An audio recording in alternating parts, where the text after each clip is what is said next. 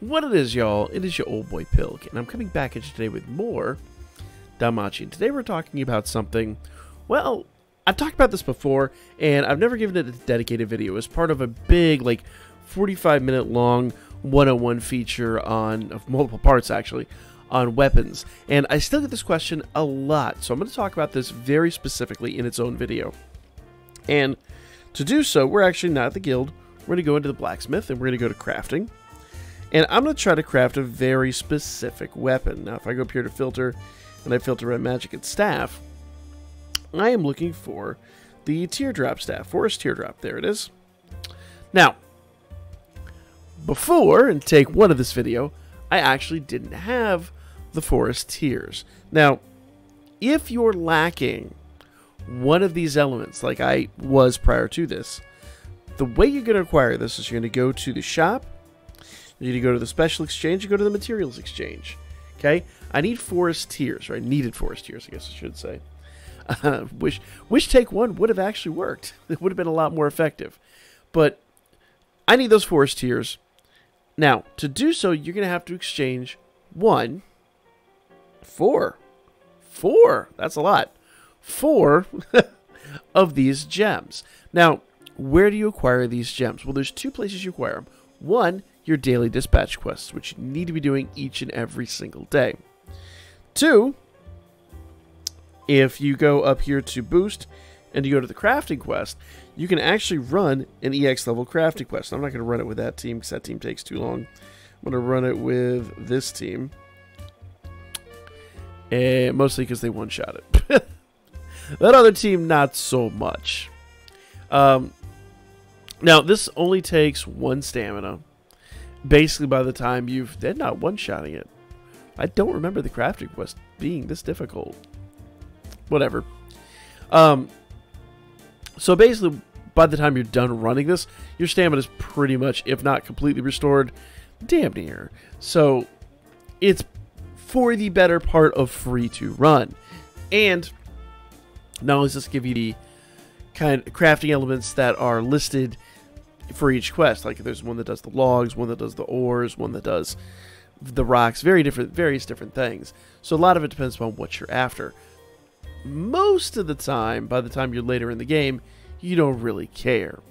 Now, I got my logs here, but I didn't get those gems. The gems and bellows and uh, hammers are rare drops, but they do happen. Let's say, for the sake of argument, you get a gem there. Great! Absolutely awesome. Maybe you get two. I still need more, so what I do is I would just do a play again and just go until I get my gems. They can take you a few minutes, I won't lie, but it isn't the worst investment of your time by any stretch of the imagination. So, once you get all your gems, like I said, once again, you go back down here, go to shop, go to special exchange, go to materials exchange, and I would grab my forest tears, which I already have.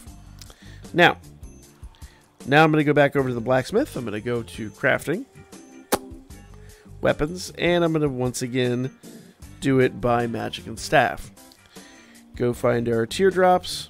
There we are, forest teardrop, and craft that weapon. And of course, it's going to me garbage stats, because why wouldn't it? Uh, actually, those are pretty decent stats. Wish it gave me a... Wish it give me something a little more, but that's alright. I can't be mad about that. It did give me triples, which is weird. I've never seen it give triples on a gold. Usually gives you a rainbow for that. But 230, I got uh, 212 out of 230, so it's not the worst. Not the best, not the worst. I am definitely going to have to rehammer that at some point. But neither here nor there. Now I'm completely out of those forest tears, so if I needed to go craft another one, which is a thing sometimes, I'd have to go through that process all over again. But pretty straightforward. Like, almost every single element or every single uh, weapon requires something along those lines. Uh, not ancient wand. Okay, I lied. but you can see the pure woods required for that one. Earth Mother Staff requires its own thing. Uh, various, various uh, weapons require different types of elements.